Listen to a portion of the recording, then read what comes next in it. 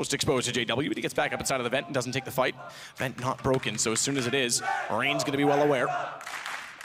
As Guardian will peek on the AWP. Rain's actually looked away with the Molotov. This could be exactly when they go. So far, Vent not broken out. Flusha finds the kill on the Deagle. And now, JW strikes from behind. Perfect timing as he'll pick up the AK as well. It's down to Olof.